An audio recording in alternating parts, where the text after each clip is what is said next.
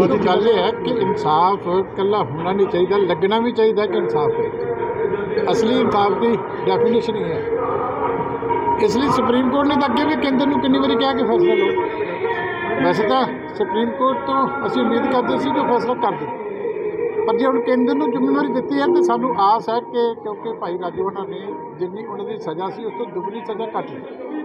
ਇਸ ਕਰਕੇ ਹੁਣ ਉਹਨਾਂ ਦੀ ਰਿਹਾਈ ਜਿਹੜੀ ਹੈ ਤੁਰੰਤ ਉਹ ਹੋ ਜਾਣੀ ਚਾਹੀਦੀ ਕਿਉਂਕਿ ਫੈਸਲਾ ਹੀ ਜਿਹੜਾ ਹੋਣਾ ਚਾਹੀਦਾ ਔਰ ਇਹੀ ਇਨਸਾਫ ਦੀ ਮੰਗ ਹੈ ਉਮਰ ਤੋਂ ਡਬਲ ਉਹਨਾਂ ਨੇ ਪਹਿਲਾਂ ਸਜ਼ਾ ਕੱਟੀ ਹੈ।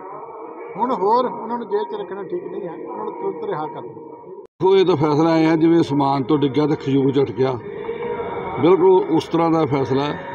ਵੀ ਸੁਪਰੀਮ ਕੋਰਟ ਨੇ ਸਰਕਾਰ ਨੂੰ ਪਹਿਲਾਂ ਵੀ ਕਈ ਵਾਰ ਆਪਣਾ ਫੈਸਲਾ ਲੈਣ ਲਈ ਕਿਹਾ ਤੇ ਫੈਸਲੇ ਦੀ ਸ਼ਬਦਾਵਲੀ ਬਦਲੀ ਹੈ, ਫੈਸਲਾ ਉਹੀ ਆ ਸਿਰਫ ਇੰਨਾ ਹੀ, ਇਹਦੇ 'ਚ ਇਹੀ ਮੈਂ ਫ਼ਰਕ ਸਮਝਦਾ।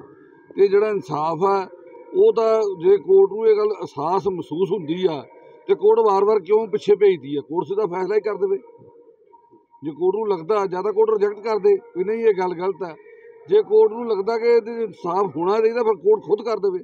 ਉਹ ਵਾਰ-ਵਾਰ ਸਰਕਾਰ ਵੱਲੋਂ ਇੰਨਾ ਟਾਈਮ ਨਹੀਂ ਕੋਰਟ ਨੂੰ ਵੀ ਫੈਸਲਾ ਲੈਣਾ ਚਾਹੀਦਾ।